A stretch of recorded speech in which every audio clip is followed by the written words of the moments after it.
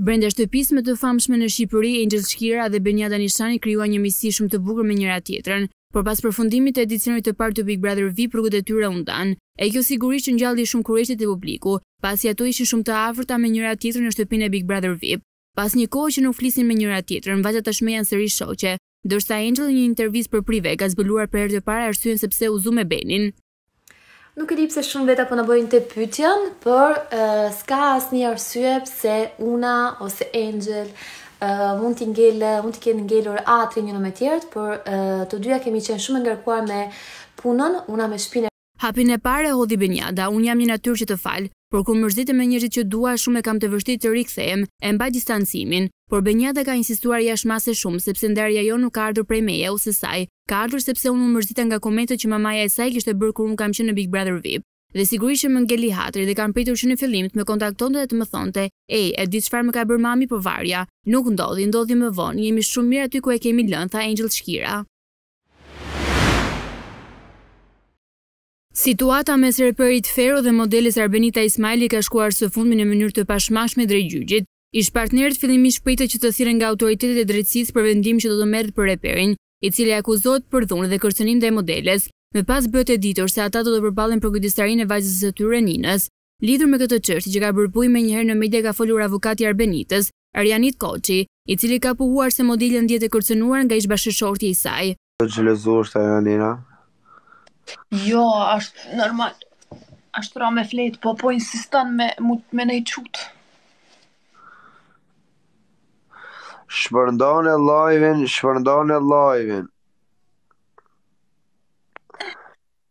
Ej ti i ki fajt, se ta shkru këtu boshnjak që boshnjak. oh, thank you. Sipas Arbenitës, ajo ka pësuar dhunë fizike dhe psikologjike, kjo nuk është hera e parë. Ne kemi dorëzuar në prokurori të gjitha provat. Arbenita ka kërkuar edhe një masë mbrojtëse. Nuk mund të jap më shumë detaje sepse prokuroria është në hetim të çështjes. Sidoqoftë ajo i ka ndarë rrugët me Feron, sipas saj. Të gjithë hapat e nevojshme për të realizuar këtë ndarje po i bëjmë gati. Tani në fokus është siguria e Arbenitës, pasi ajo ndihet e kërcënuar. Nuk është e vërtetë që vajza është molla e sherrit. Arbenita është dhunuar psikologjikisht dhe fizikisht, por jo për shkak të vajzës. Sipas saj, ata kanë pasur probleme edhe më herët, tha avokati për Prive. Këtë herë duket se ka risi nga jeta private e reperit Majk. Së fundmi në agjendën e stërngarkuar me koncerte ai është parë i shoqëruar nga bija e Naim Krasniqit, Nita Krasniqi. Kjo mbase dyshja mund të kenë nisur një lidhje dashurie.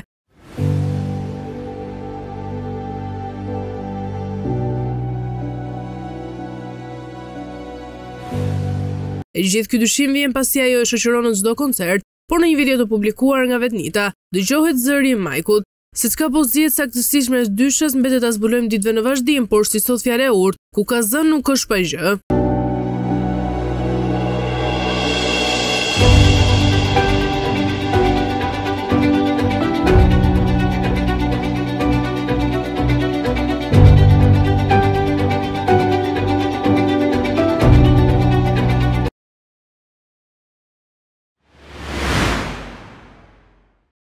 Gazetarja e njohur Iva Tiço ishte një ditë më parë e ftuar në rubrikën Dielli apo Hëna në E Diell, ku u bë pjesë e disa prej lojërave.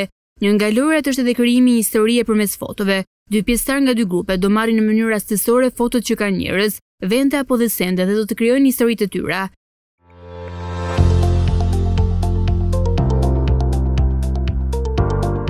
Iva Tiços i ra Bleona Qereti, qeli burgu, djallëzi dhe Ermal Mamaqi. Ishte një herë djalli dhe shkoi në burg, e burgosur ishte Bleona Qereti, kurse gardian ishte Ermal Mamaqi. Në mënyrë që Bleona të dalë nga burgu i thotë Ermalit, Ermal zemra, m'i hiq këto, se ti nuk di me ma lyp, ishte historia e krijuar nga Iva së bashku me Elios Shulin. Një ditë më parë djali i Elton Dedës festoi ditëlindjen dhe kantautori i njohur zgjodhi t'ia prezantonte atë me publikun. Fjordi i cili jeton në Shtetet e Bashkuara të Amerikës këtë verë ndodhet në Shqipëri për pushime, ku festoi dhe tetëmbëdhjetë vjetorin e lindjes. Në këtë ditë të veçantë, Eltoni ka bërë një urim po aq të veçantë, Bëhu i fortë në këtë botë të pisët. Kam dy diej, njëri dhe më i rëndësishëm është ky. Djali im, shoku im, sot ai ka ditëlindjen, tetëmbëdhjetë vjeç nuk është shaka. Të dua shumë miku im, bëhu i fortë në këtë botë të pisët. Jola faleminderit për gjithçka që kujdesesh në çdo detaj për produktin tonë, të jetë sa më i mirë dhe i shëndetshëm. Happy birthday plako, shkruan kantautori i njohur në foton ku shfaqet ai së bashku me të birin. Kujtojmë që më herët Elton Deda ka qenë në raport dashurie me Jola Manin. Pas pjesëmarrjes në Big Brother VIP, shumë nga konkurrentët e këtij reality show u shndërruan në personazhet më të njohura dhe më të komentuara të showbizit shqiptar. Ato morën me mijëra ndjekës në rrjetet sociale, ndërsa pas daljes nga spektakli lufta më e madhe e tyre, Ka qenë që t'i mbajnë akoma fansat duke publikuar foto nga përditshmëria e tyre. Ish-banori Bledi Mane, ka qenë i ftuar në emisionin Wake Up, ku ndër të tjera ka folur dhe për famën që kanë fituar ish-konkurrentët dhe si po vazhdojnë ta mbajnë atë.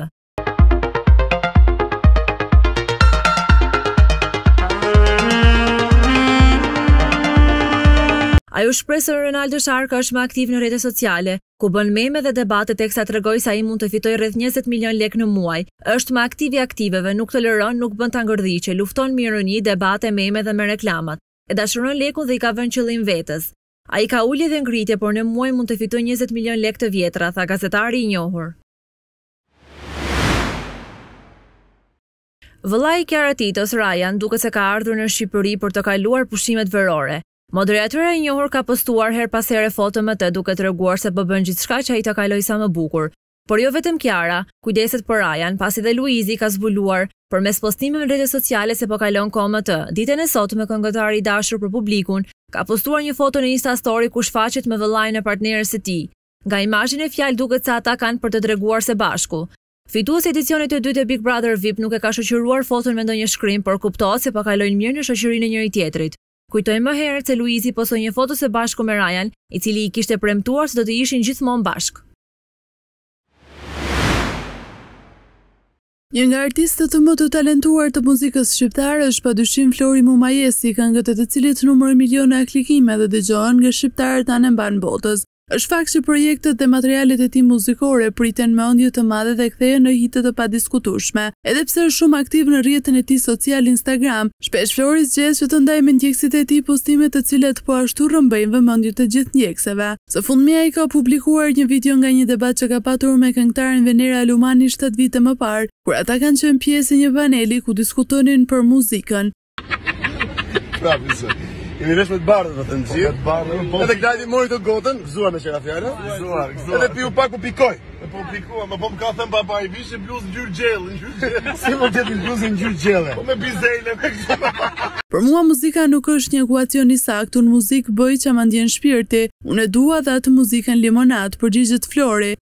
Duke shtuar, do të vijë koha që do ta bësh edhe ti. E di sa kam parë si ty që bëjnë moral dhe pastaj bëjnë dhe ikin nëpër dasma ku këndojnë tallava. Sot emri i tij u përfol mjaft shumë në media rozë, kjo për shkak të disa aludimeve për një lidhje të mundshme mes Majkut dhe Nita Krasniqit. Ai menjëherë reagoi me një video humoristike në Instastory. I pyetur nga shoku i tij se a është në lidhje apo jo, Majk u përgjigj kështu.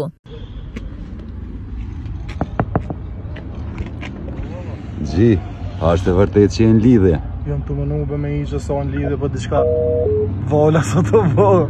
Jam tu munu që sa me hy n'lidhje po diçka valla nuk po mban, ironizoi kështu me lidhje telefonike. Ndonëse ka një karrierë muzikore disa vjeçare, përsa i përket jetës së tij private ai është shumë diskret, duke e mbajtur atë larg kamerave dhe syrit të publikut. Nga ana tjetër nuk ka mjaftuar vetëm kjo foto e dyshes, që të nxisë aludimet e publikut se artistët kanë nisur një lidhje të re dashurie, pasi Nita ka publikuar gjithashtu dhe një video në makinë, ku një moment dëgjohet zëri i reperit.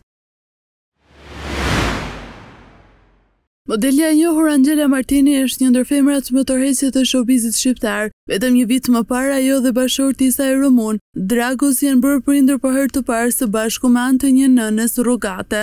Mirëpo pasi ka sjellë në jetë djalin të cilin ata e kanë bekuar me emrin Krej, modelja i është dedikuar plotësisht familjes duke hequr dorë nga karriera. Megjithatë, së fundmi Angela gjatë një interviste për revistën Who ka treguar sakrificën që ka bërë dhe gjithashtu ka njoftuar fansat se së shpejti ajo do t'i rikthehet karrierës.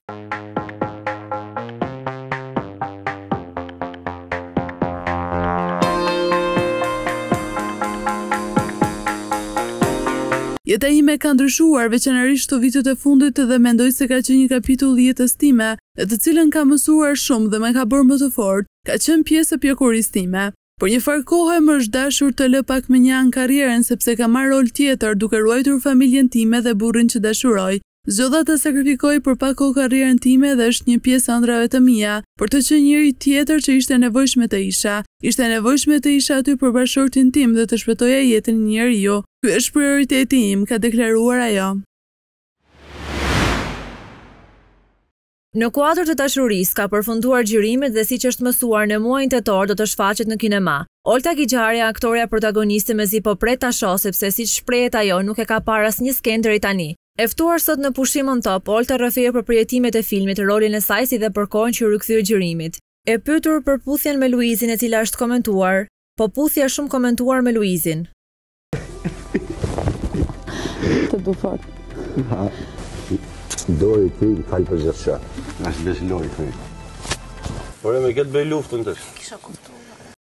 Në fakt, diku, dikur, Olta na paska thënë se nuk puthet me Luizin, këtë e vuri në dukje Eni Shehu, dhe pse nuk e mbante mend se kur e ka thënë këtë, por Olta si aktore nuk ka asnjë barrierë që e pengon në film, Unë në të gjitha filmat që kam rol unë jam puthur, pse nuk do të puthesha në këtë film? Siç e thashë dhe më lart, unë jam në zonën time, jam aktore, di shumë mirë të ndaj rolin nga jeta e vërtetë.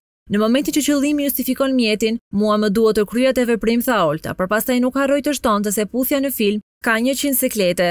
Është teknike, mbaroi çak, unë e harroj çfarë ka ndodhur, një puthje në film është njësoj si një ecje për mua. Mevlani dhe Jori janë personazhet e kepit të vipave. Dje në transmetim kemi parë debatin që bëri Mevlani me Jorin. Mevlani u shpreh se Jori mban një qëndrim me të cilin nuk i jep shanse atij t'i afrohet për t'i folur. Por Jori mohoi akuzat e tij duke treguar që është njeri mjaft pozitiv dhe i shoqëruar me njerëzit. Kujtojmë se Mevlani ka qenë një ndër konkurentët më të pëlqyer në Përputhen, ku ndër lidhjet më të bujshme ishte ajo me Antonelën. Është video. Është video. Antonella reagoi duke thënë që sipas tij publiku ndjeu një keqardhje dhe se për këtë e kanë votuar së shumti, ndërkohë Jori mori një vëmendje më masive pas hyrjes së saj në Big Brother VIP Albania, ku ndër të tjera u cilësua dhe si vajza më e bukur e atij formati. Kozaku dhe Denisa janë shumë aktivë në live stream në TikTok. Për të mbajtur audiencën e madhe që kanë sigurisht, ato bëjnë veprime e bisedime të ndryshme, një ndër ta ishte dhe historia e njohjes së tyre, për të cilën Denisa u shpreh kështu. Që ta dini vajza, në javën e parë të njohjes, Kozaku më ka blerë iPhone dhe dukat. Ju me pa herë qa ka bëhu të muradës është një nga më të forë dhe di që herë ta shumë këtë muradën që ta ka mërë. Mega, mega Omega Lux, jo Mega Si duket Kozaku e ka bërë për vete Denisën me kujdesin që bëri ndaj saj. Çifti ka pak muaj që janë bërë prindër të një djali me emrin Denaro. Kujtojmë se çifti është bërë i njohur në TikTok për shkak të videove të ndryshme dhe bisedave që bëjnë aty duke marrë kështu mijëra shikime. Dafina Zeqiri para disa ditësh ishte e ftuar në një emision tek të cili u rrëfye për jetën e saj. E pyetur për nënën e saj, Dafina tregoi si çka nuk i pëlqen asaj te e bija. Nënës time më së shumti i pengon ekstremisht që unë bëj shumë pas njerëzve, shprehet këngëtarja. Dihet se Dafina ka një lidhje të ngushtë me nënën e saj, këtë e ka shprehur në çdo intervistë të dhënë.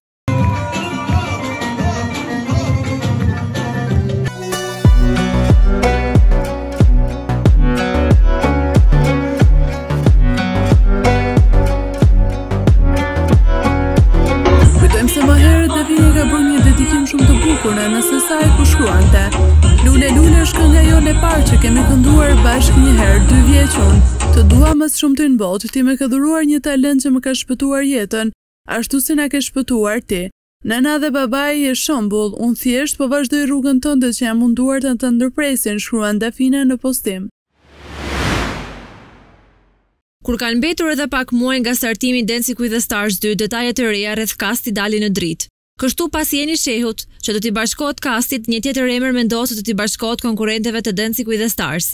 Kjo është thjesht një story kështu thjesht nga hiçi, po bëra vetëm 10 minuta në këmbë uh, që parë në Bllok të Tiranës dhe nga vapa e frikshme, gati 40 gradë temperaturë, uh, uh, më merreshin mendtë, thjesht u trullosa në kuptimin e parë të fjalës.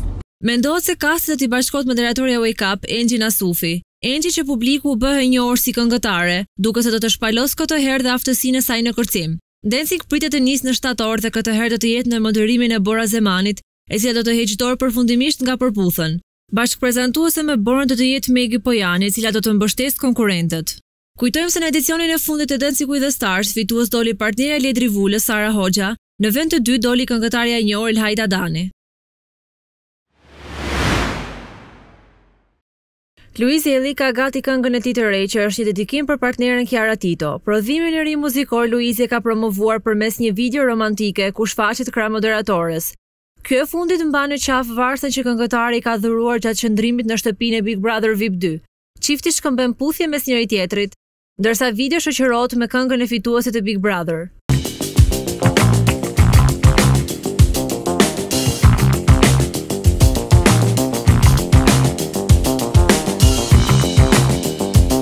Kiara shpirtin ty ta fala dhe më doli fjala. Ti e di je thesari im. Kiara shpirtin ty ta fala janë disa nga vargjet e këngës që pritet të publikohet së shpejti.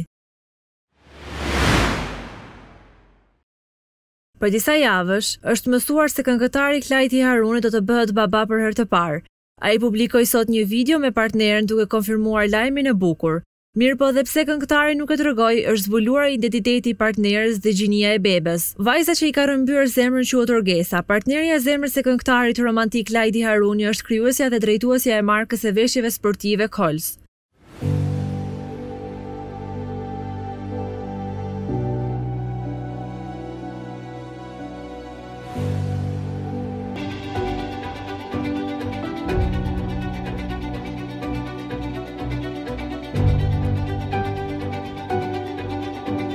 Çifti do të bëhen prindër të një vajze. Të kontaktuar nga revista Who, çifti janë shprehur, Jemi shumë të lumtur, ndihemi të bekuar që në jetën tonë do të vijë një vajzë. Ende nuk e kemi nisur me detaje, por i shijojmë të gjitha hap pas hapi. Tani rëndësi ka shëndeti i dy vajzave dhe të shijojmë këtë periudhë kaq të bukur. Këto kanë qenë fjalët e çiftit që po shijojnë muajin e tyre të ëmbël. Ne i urojmë shtatzani të mbarë Orgesës. Bledi Mane ka treguar në Wake Up se Luiz Ejlli me koncerte, reklama në Instagram e tjerë fiton 100 mijë euro në muaj. Ai shpreson që Luizi të dijë t'i menaxhojë paratë që fiton dhe të mos i harxhojë brenda 30 minutave. Kejsi do Kejsin, Kejsi do Kristin. Kristi do Luizin, Luizi do Kjarën, prit dhe s'ka mbaruar, Luizi do Kiarën, Kiara, Kiara do famën.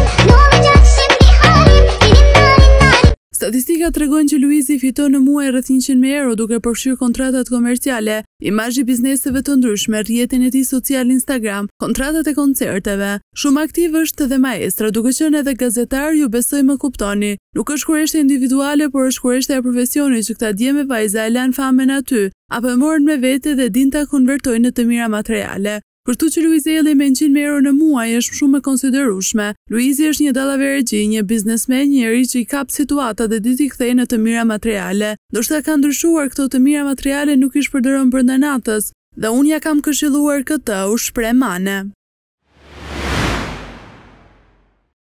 Bukuroshja e njohur shqiptare, Xhuli Nura vazhdon të jetë një nga emrat më të përfolur në faqet rozë. Ajo mori vëmendje të madhe gjatë kohës që ishte në Big Brother VIP Kosova, nga i cili do të ishte finaliste duke fituar plot 10.000 euro. Ndërkohë që po vazhdon me angazhimet e saj, ajo gjatë kësaj kohe është parë duke shijuar pushimet. Xhuli kapet mat me të dashurin, kush po e shoqëron me pushime, ka shkruar fillimisht në postim.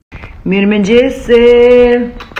Mirëmëngjesi të gjithëve. Fakti është Mirdita, po na kanë të ftun special në Venom me familjen, familjarët e mi, me shoqërinë tem. Jemi kënaqë, faleminderit shumë Venom e qe ato nona po ban mëngjesin gati. Atje dikun është mama si zakonisht zoja e shtëpisë. E, dihet kujt i kumko.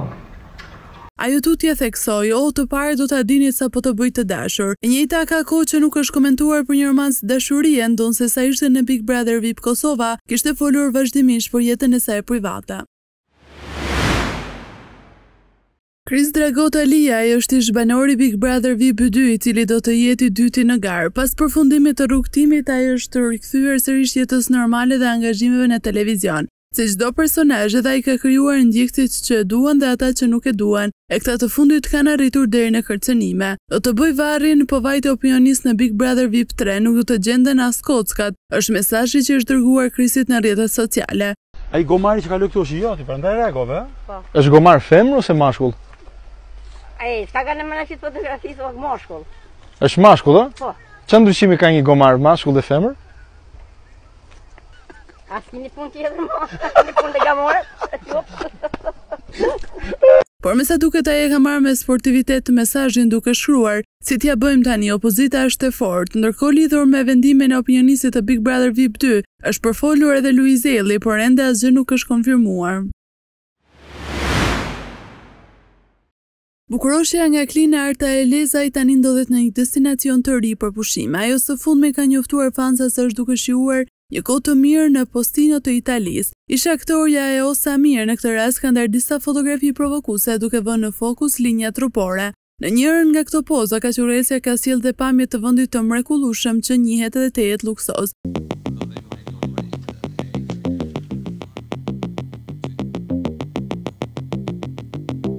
Komplimentet ndërkohë nuk kanë munguar nga miqtë e ndjekësit në pjesën më të madhe të komenteve. Arta momentalisht nuk është angazhuar në ndonjë projekt televiziv apo film.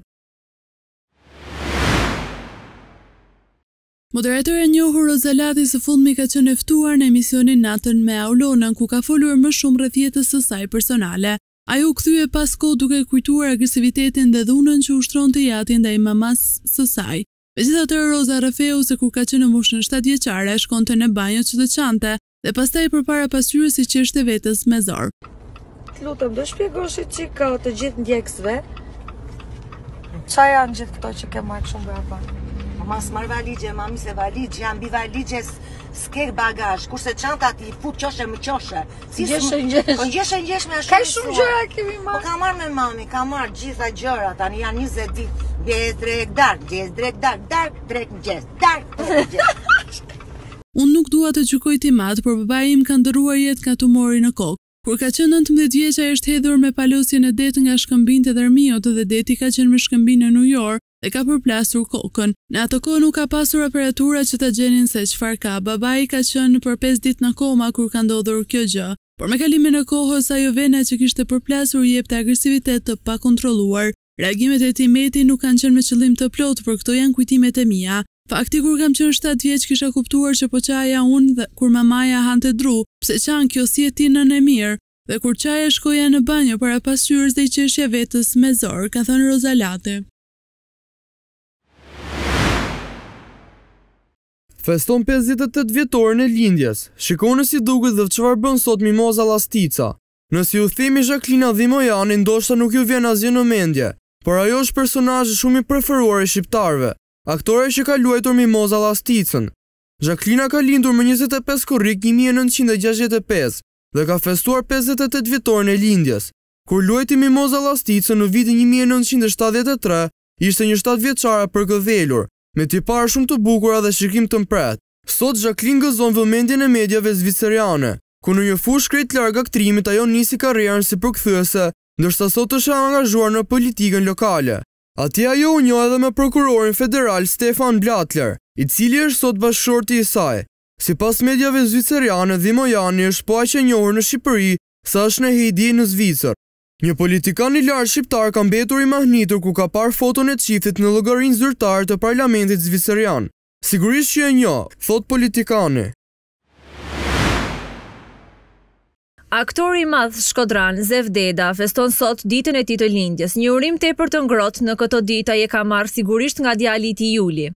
Në një foto ku duken së bashku të buzëqeshur, Juli shkruan gëzuar ditëlindjen Big Boss. Fati më ka mbajtur me hatër duke më bërë birin tënd. Sepse ti e do të bukurën, dashuron familjen, për ty ka rëndësi dinjiteti dhe ndershmëria, ti adhuron jetën. Për me lind një dashuri është si nana që ban fmijë për herë të parë. E do mos do. Nuk lind kollaj fëmija. Sigurisht. Po dhe kurrë nuk lind kollaj dashuria. Le të jetë kushdo. Ai njeri ka ndjenjat e veta, sentimentet e veta, syrin e vet, mendjen e vet, dëshirën e vet, pasionin e vet. Mund të jenë 500 vajza, na kanë durdurkit, na kanë dasht, na kanë respektu në mënyrë të jashtëzakonshme se vajzat i kena të bukura na shqiptarët. E atëherë kur merr dhe momenti pikërisht për me e ba veten diçka të afrume me dikën, sepse vjen edhe mosha. Jo se s'jeton pa dashuri. Sekreti yt është pozitiviteti, të cilin ti e shpërndan ndër ne. Pa kursim, je krenaria e familjes sonë, të paçim me jetë e me shëndet, të dua fort babo. Zef Deda aktori i madh i humorit shqiptar, mbush sot shtatëdhjetë e tre vjeç. Në filmin e ri, këngëtarja dhe aktorja Dua Lipa luan Mermaid Barbie, por sipas një kompanie të marketingut në internet, ajo ka një titull më të përshtatshëm, Influencer Barbie. Agjencia e ndikimit renditi secilin prej emrave të mëdhenj që luajtën në hitin madhështor, të Greta Gerwig, duke i renditur ato sipas numrit të ndjekësve në Instagram dhe duke përdorur Kalkulator marketingu për të përcaktuar se sa mund të fitonin nëse vendosnin të hiqnin një postim të sponsorizuar. Kishte dy paralajmërime të mëdha. Ryan Gosling, i cili luan Kenin, nuk është në mediat sociale dhe Barbie, e njohur si Margot Robbie, është tërhequr nga ajo. Dua ka nëntëdhjetë milionë ndjekës në Instagram dhe çdo postim merr mesatarisht dy milionë pëlqime. Shkalla e angazhimit të saj, ndërveprimet që merr një postim pjesëtuar me numrin e ndjekësve të saj, është dy pikë tridhjetë e tre për qind sipas kompanisë.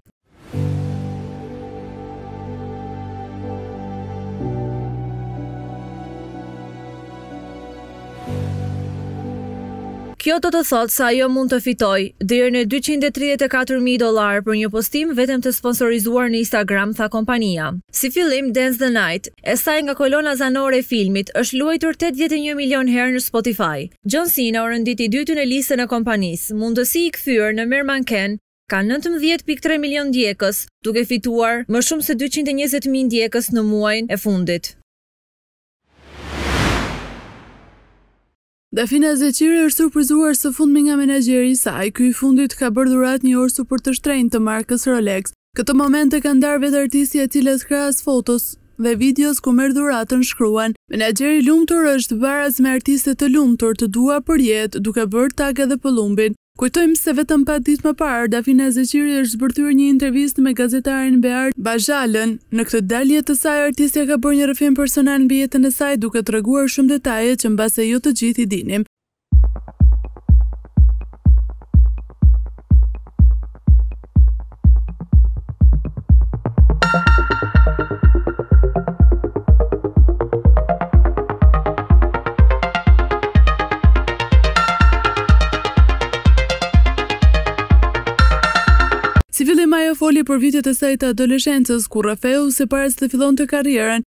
Ka përjetuar momentin më të vështirë të jetës së saj. Para se të filloja karrierën kam përjetuar momentin më të vështirë, ka ndodhur kur kam qenë gjashtëmbëdhjetë vjeçe, kam përjetuar shumë trauma. I kam kaluar si fëmijë dhe nuk kam patur nevojë të shkoj dhe të kërkoj ndihmë mjekësore, tha këngëtarja e njohur. Pothuajse një vit pasi u bë nënë për herë të parë, Dojna Mema do i rikthehet ekranit, madje dhe me një suprizë. Në rrjetet e saj sociale ajo ka biseduar me ndjekësit ku natyrisht nuk kanë munguar pyetjet rreth rishikimit të saj të cilin e konfirmoi.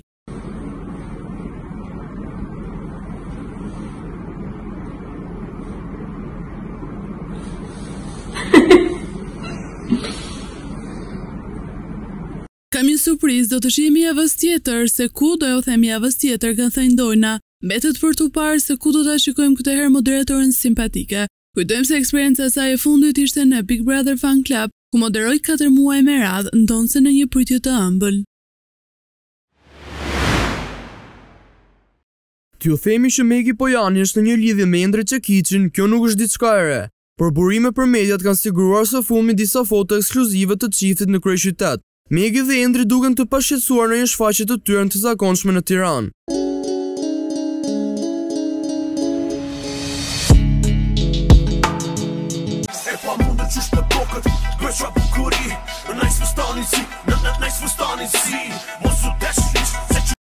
Deri më sot, detaje të ndryshme nisur nga ashensori, restorantet e njëjta apo edhe veshjet e futbollistit të përdorura nga Megi, kanë dëshmuar se dyshja janë në një lidhje me njëri-tjetrin që prej një viti. Madje, Megi udhëtoi drejt Turqisë për të parë skuadrën e tij, Konyaspor-in, në derbin ndaj Gallatasarajit. Në këtë ndeshje, Endri shënoi golin e barazimit, të cilin ia dedikoi partneres së tij, e cila ndodhej e ulur në rresht të parë në përkrahje të tij. Kjo është hera e parë që ata janë fotografuar bashkë. Blero Muharremi është përfolur pafund gjatë kësaj periudhe për jetën e tij private, fillimisht për ndarjen e tij nga Afrona dhe tani nga e dashura e re. Identiteti i vajzës në fjalë nuk u zbulua kurrë, mirëpo Blero tha se jetonte me të në Gjermani. Gjatë kësaj periudhe, postime të ndryshme të Bleros në Instagram nuk kanë kaluar pa marrë vëmendje. Gjithçka na dy kemi qenë, një të jetën me ty deri në pafundësi a u martohesh me mu? Of course! Si ky i fundit ku shkruan, nuk më intereson nëse thua që nuk dëshiron të më shohësh mua, nuk më intereson nëse thua se nuk më do, do të luftoj përsëri e përsëri Sepse në fund të fundit ti je dashuria e jetës time, gruaja që zemra ime donte gjithmonë, por kurrë nuk e dinte që ekzistonte vërtet. Të dua, zemër, ka shkruar Blero duke treguar se ndodhet në Gjermani. Arbana Osmani jemi mësuar ta shikojmë në rolin e moderatores. Këtë periudhë, moderatorja ka shfrytëzuar për të pushuar në vende të ndryshme me Eduartin dhe familjen. Pas pushimeve fillon sezoni televiziv. Në postimin e fundit Arbana ka paralajmëruar ndjekësit se do të vijë me një projekt të ri dhe kjo lë të nënkuptohet se nuk është Big Brother apo programet e tjera që ajo ka drejtuar.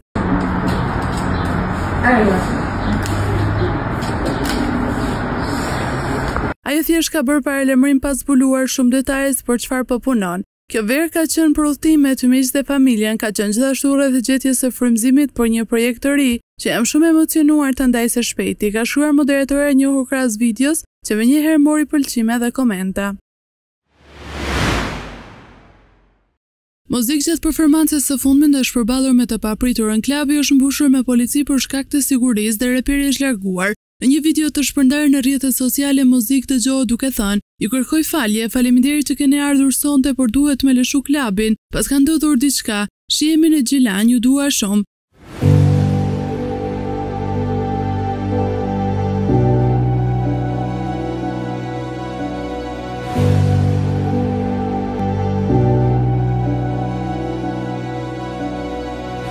Dikush nga stafi shton se kjo ka ndodhur vetëm për çështje sigurie. Kujtojmë se bujë të madhe kanë bërë deklaratat e tij me ish-partneren Loredana, ku artisti i ka dedikuar një sërë këngësh. Së fundmi Loredana e ka bërë publike lidhjen e saj me një futbollist, i cili është me ngjyrë. Kjo ka bërë që komentuesit të jenë të ashpër lidhur me komentet që kanë bërë në Instagramin e saj. O jetë është projekti më i ri muzikor i Armaldo Kllogjerit, i cili pas përfundimit të rrugëtimit në Big Brother VIP, iu është përkushtuar muzikës. Por me sa duket ka dhe nga ata persona që nuk janë fansa të muzikës së tij. E një prej tyre i thotë që projektin mos ta publikojë fare pasi nuk kanë interes. Do vejë ta marrë njëri Tean apo ngeli atje. O Tea! O Tea! Po çfarë të bëj ta shoh? Unë nuk e lexoj dot, po çfarë të bëj? Tea, please. Please! Mos u lodh me e nxjerr fare se s'kemi pikë interesi ishte komenti në postim që mori vëmendje nga Armaldo e madje dhe dha një përgjigje. Luiz Ejlli publikoi ditën e djeshme këngën e dedikuar partneres së tij, Kiara Titos. Kjo nuk është hera e parë që i ka dedikuar një këngë. pasi ka ndodhur edhe brenda shtëpisë së Big Brother vip Albania. Por siç thotë Luizi, dikush po xhelozon, e ajo është nëna e tij. Me humor Luizi e tregoi mbrëmjen e deshme përmes një video se do të bëjë këngë për nënën, pasi kjo e fundit është ndjerë xheloze për dedikimet që po i bën Kiarës. A ju pëlqej kënga? Ka qenë jashtëzakonisht e bukur. Po, imagjino kaq e bukur ka ken, sa, sa, m'është bo njena xheloze. Se thotë. Po mirë mor thotë je bo 38 vjeç Pse s'ma knove një herë kongë mor thotë Edhe ka të drejtë për atë zot Kështu që Kjo është një paralajmërim për kongën e radhës që vjen Do jetë për nanën Amanetet e nanës si me thonë Imagjino, kaq ka qenë kënga sa është bërë njëra xheloze Më thotë, je bërë 38 vjeç dhe nuk dedikove një këngë Ka të drejtë Kjo është një paralajmërim se kënga e radhës do të jetë për nënën, siç thotë Amanetet e nënës. Ja ku e kam mbretëreshën, femra më e bukur në univers, është më e bukura në botë, thotë Luizi. Teksa ende nuk i kemi parë bashkë që pas Big Brother VIP, të gjithë jemi shumë kuriozë të dimë se si është sot raporti mes Efi Dhedhes dhe Luiz Ejllit. Kuriozitet që na ka shuar Efi në Instagram. Ajo ka realizuar një sërë pyetjesh përgjigje me ndjekësit e saj duke iu përgjigjur pyetjeve të ndryshme.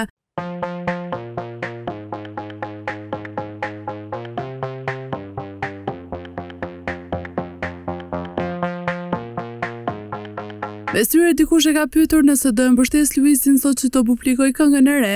Efi nuk heziton të thotë që do e mbështesë duke e konsideruar atë një nga këngëtarët më të mirë shqiptarë. Normal që do e suportoj se besoj e dinë të gjithë se Luizi është një nga këngëtarët më të mirë dhe ka një zë fantastik. u shpreh ajo, duke lënë të kuptohet se çdo gjë mes tyre është mirë. Ish-banori i Big Brother vip dy Kristi Lamaj ka dhënë së fundmi një intervistë për emisionin Pushime on Top.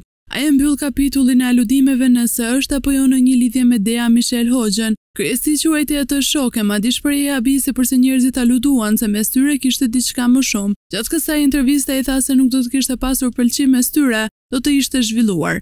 Sa i përket Deas, jo unë e kuptoj pse e thotë Roberti atë ose pse e thoshte më tepër.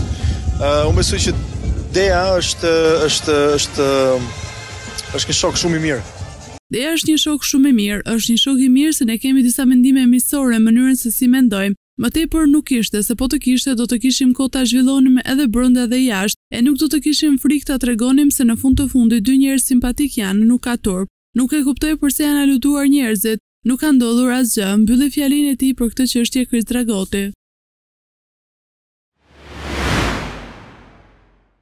Të gjithë po thonë se Kjara Tito është shtatzënë dhe për shkak janë bërë disa foto të fundit të moderatores krah Luiz Ejllit. Kjara shfaqet e veshur me një fustan të lirshëm, por barku duket i fryrë. Teksa pozon krah Luizit, sytë menjëherë shkojnë tek barku i moderatores dhe fotot nuk kishin si mos të bëheshin menjëherë virale.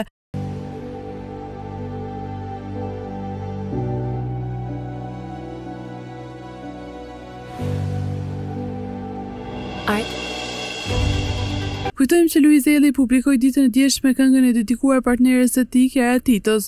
Kjo nuk është hera e parë që i ka dedikuar këngë, pasi kjo ka ndodhur dhe brenda shtëpisë së Big Brother VIP Albania. Po ta shihni për pak minuta foton kryesore me siguri e keni gjetur personazhin. Bëhet fjalë për aktoren Olta Gixhari. Ka qenë vetë ajo e cila në një bisedë me ndjekësit e saj në Instagram ka publikuar këtë foto të fëmijërisë, një prej fansave e ka pyetur për kujtimin më të bukur të fëmijërisë dhe ajo ka ndarë një foto krah prindërve të saj, duke treguar se foton e ka shkrepur motra e tyre.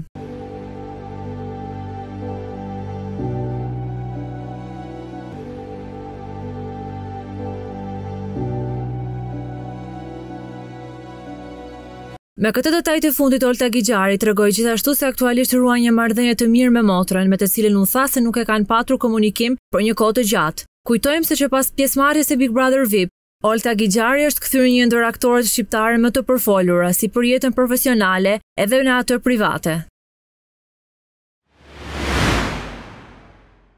Armaldo Kllogjeri ka zbuluar për herë të parë arsyen se përse i ka mbetur hatri me Luiz Ejllin e se përse nuk flet më me të. Në pushime on top, Armaldo tha se Luizi nuk e ka uruar për ardhjen në jetë të vajzës. Sipas tij, do ishte mirë që të liheshin pas hatërmbetjet dhe të urohej për bekimin që mori.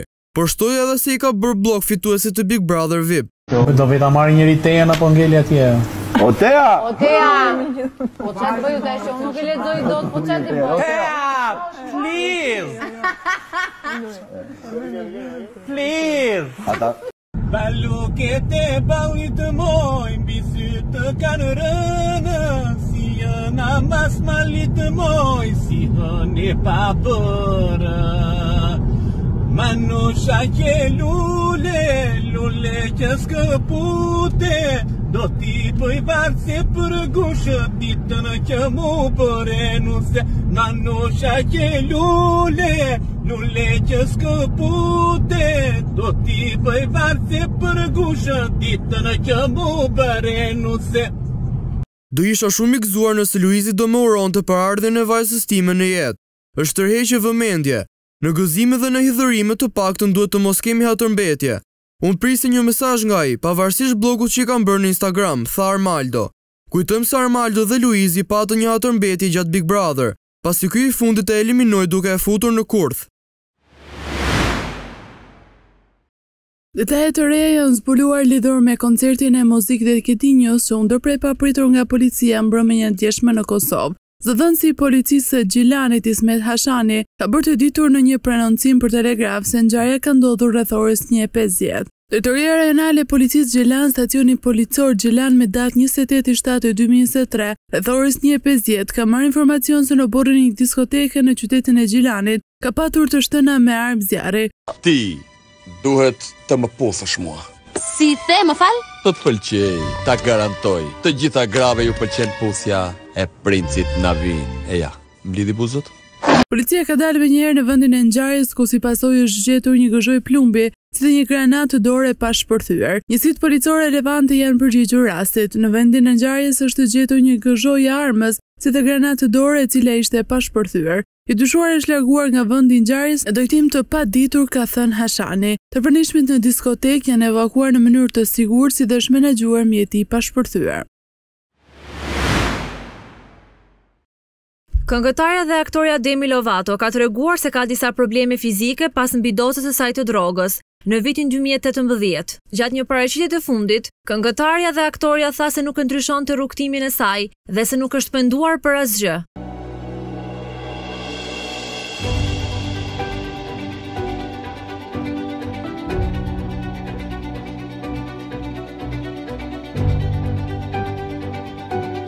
Unë nuk do ta ndryshoja rrugën time sepse nuk jam penduar. Gjëja më e afërt për të cilën jam penduar është kur e teprova dhe doja që dikush të më kishte thënë një, se isha e bukur, sepse nuk e besoja. Dhe dy, do doja që dikush të më kishte thënë se nëse ulesh vetëm me dhimbjen ajo kalon. Unë kam dëmtim të shikimit dhe dëmtim të dëgjimit dhe sot e kësaj dite, është një kujtesë e përditshme e vazhdueshme. Sa herë që shikoj diçka, kam pika qorre në shikimin tim, kur shikoj fytyrën tuaj, tha ajo. Si pasojë e këtyre problemeve aktorja tregoi se nuk e drejton më makinën.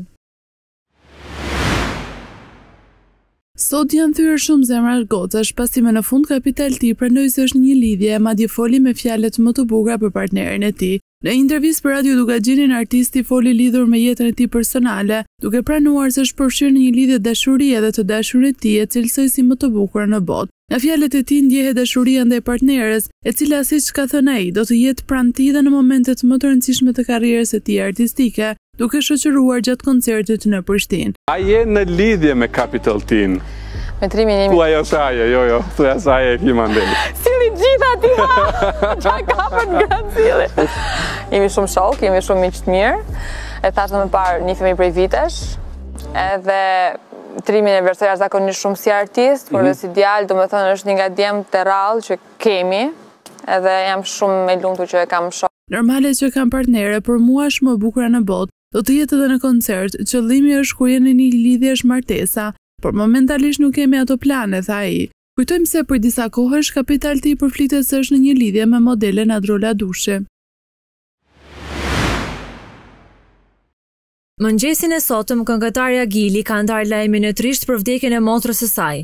Gili ka njoftuar se varrimi i motrës së saj do të bëhet sot, Me dhimbje të thellë ju njoftoj sot se ndërroi jetë motra ime e dashur, shpirti i saj i bardhë u prehtë në paqe. Varrimi i së ndjerës do të bëhet sot, me datë njëzet e nëntë, zero i shtati dy mijë e njëzet e tre, njoftoi këngëtarja. Ylli i estradës sonë i cili me zërin, bukurinë, arriti shumë në karrierë muzikore, duke bërë hapat e parë në shumë sfera, gjë që e bën trendsetter tek ne dhe këngëtarëve i mbetet shembull, ashtu sikur vajzat e vogla këndonin vargjet e një kënge. Megjithatë, në skenë, atë të gjithë e njohin si Gili dhe pak kush e njeh emrin e saj të vërtetë. Artistja quhet Fevzije Konushevci, Berani, ndërsa personi i cili ia la emrin Gili ndër vite, duket të ketë qenë motra e saj.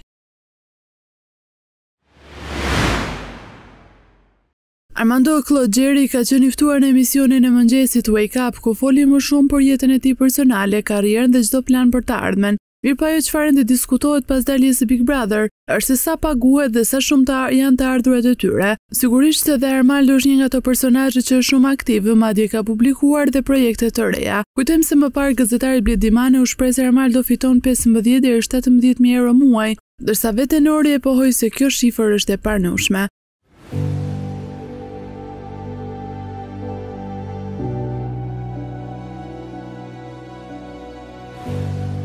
Sot e publikon projektin e tij të ri për të cilin tregoi ka qenë e vështirë se është këngë e fortë dhe dinamike. Unë s'jam mësuar që të këndoj këto këngë me ritme latine. Po mbahet profili i këngës së parë me të dytën, jemi tek një ritëm i gëzuar, tek e pira një gotë. Nuk e dimë si do të pritet nga publiku, është energjike dhe e përshtatshme në ambiente për të rinjtë dhe familjarët, për të krijuar një atmosferë, u shpreh ai.